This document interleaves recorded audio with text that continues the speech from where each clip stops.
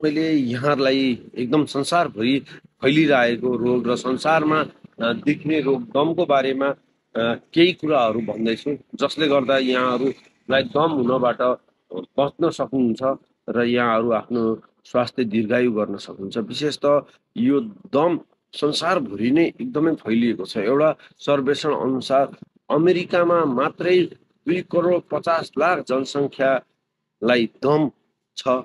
र एउटा सर्वेक्षणको अनुसार ल पचास लाख त्यसमा बच्चाहरू छन्। यो दम विशेष गरेर बच्चाहरूलाई बढी हुने गर्छ र पछि गएर यो आफै कम भएर जाने अथवा निको भएर जाने गर्छ। तर कतिपयहरूलाई यो पूर्ण उमेरसम्म दीर्घायुसम्म यो दम रहने गर्छ। दम के कारणले हुन्छ त नि भन्दा हाम्रो संसारभरि दम हुने कारण भनेको एउटा प्रमुख कारण भनेको वंशाणुगत गुण।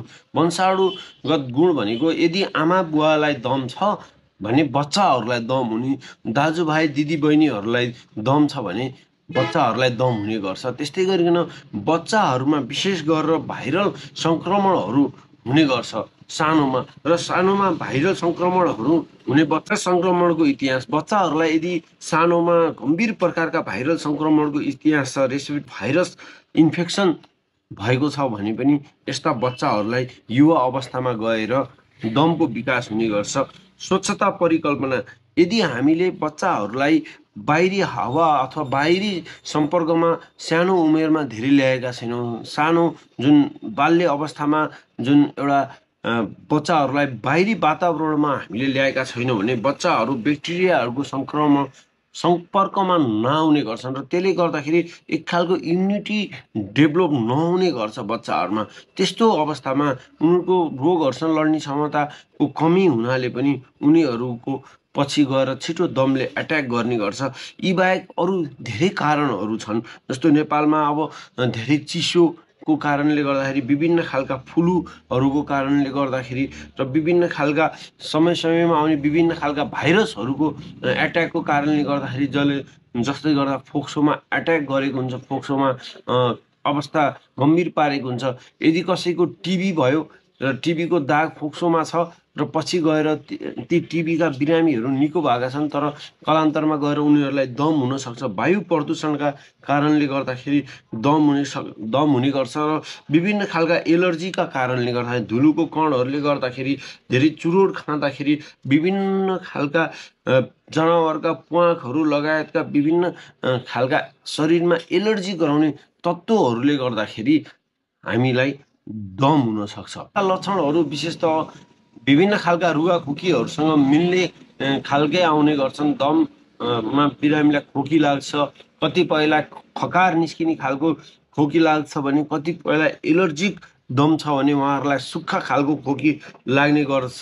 र लामो समयदेखि रातिमा खोकी लाग्ने र खोक्दा खोक्दै सास फेर्न गाह्रो हुने छाती दुख्ने एकदम अप्ठ्यारो हुने सास लिन एकदम गाह्रो हुने सिँढीहरू चढ्दाखेरि यहाँहरूलाई एकदम अप्ठ्यारो हुने सिँढीहरू राम्रोसँग चढ्दा चढ्न नसक्ने सिँढीहरू चढ्दाखेरि दम बढेको जस्तो हुने सास फेर्न गाह्रो हुने छिटो थकै लाग्ने विभिन्न खालका औषधिहरू दममा मेडिकल हस्पिटलहरूमा यहाँहरूले किन्नुभयो होला खानुभयो होला तर जति प्रकारका औषधिहरू भए पनि यी रोकथामको मात्रै काम गर्छन् यिनले पूर्ण उपचार गर्दैन त्यसले गर्दाखेरि दमलाई हामीले विभि आफूलाई के गर्दाखेरि दम बढेको छ र त्यो काम नगऱ्यो भने हामी दमलाई नियन्त्रण गर्न सक्छौँ तर पनि केही दमका औषधिहरू म यहाँ भन्न चाहन्छु।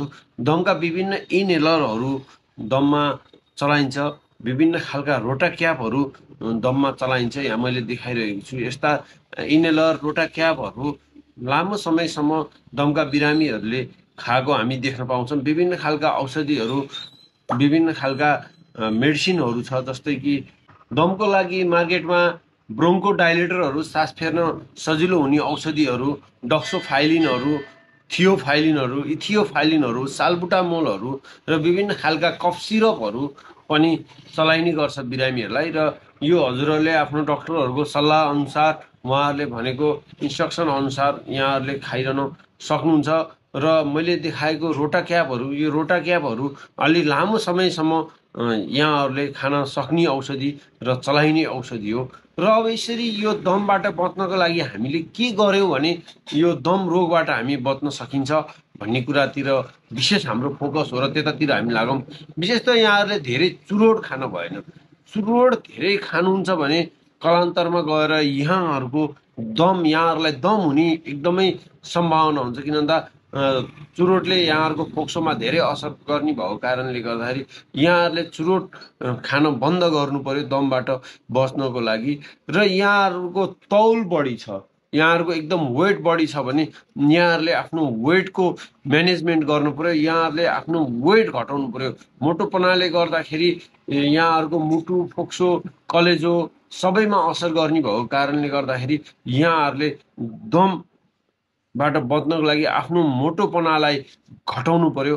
र यहाँहरूलाई जेले गर्दाखेरि यहाँलाई एट्याक हुन्छ जेले गर्दाखेरि जस्तो खालको स्मेल जस्तो खालको त्यो गन्धहरू छ त्यस्ता गन्धहरूबाट यहाँहरू बस्नु पर्यो टाढा हुनु पर्यो अघिल्लो पटक के त्यस्तो धुलो धुवा अथवा त्यस्तो खालको के चिजसँग हजुर सम्पर्कमा आउनुभएको थियो र हजुरलाई एक्कासी दम एट्याक आएको थियो त्यस्तोबाट बच्नु पऱ्यो धुलो धुवा जस्ता बाट हामी टाढा हुनु पऱ्यो धुलो धुवाँबाट बच्नु पऱ्यो मास्कहरूको फ्रिक्वेन्टली प्रयोग गर्नु पऱ्यो र सकिन्छ भने यस्ता धुलो जन्ने वातावरणबाट अलिकति हामी अलग्गै बस्नु पऱ्यो त्यसो गरियो भने पनि हामीले दमबाट बच्न सकिन्छ। यदि हामीलाई विभिन्न खालका क्रोनिक निमोनिया लगायतका विभिन्न खालका एट्याकहरू बेला बखतमा हुने गरेका छन् भने निमोनियाका भ्याक्सिनहरू पनि यहाँहरूले लिएर निमोनिया आफूलाई नहुनबाट बचाउन सक्नुहुन्छ।